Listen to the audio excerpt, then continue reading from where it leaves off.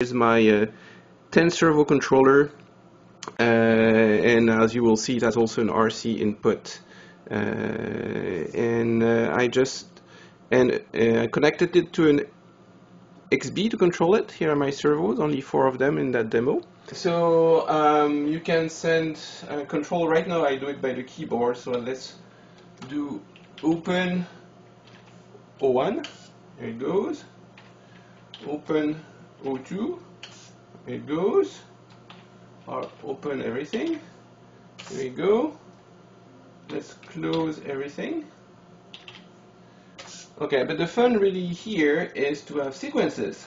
So I uh, built a little sequencer in there so let's do sequence little wave. And I think I have a fast wave same thing. And I know anything you want. I think I put some marching ants here. Or five.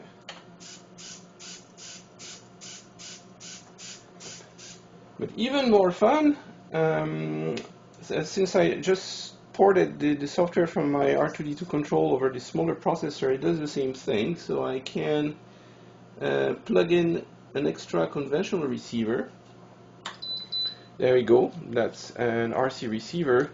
And regain RC control uh, if I want to. So let's uh, put the servo 1 under RC control. So I type RC01 and with a little bit of luck I can control it.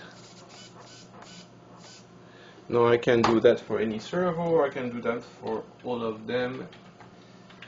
RC99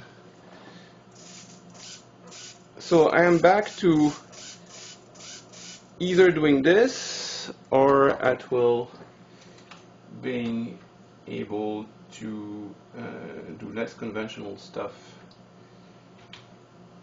Let's take the RC mode off and get back to the sequencer. So I have the best of both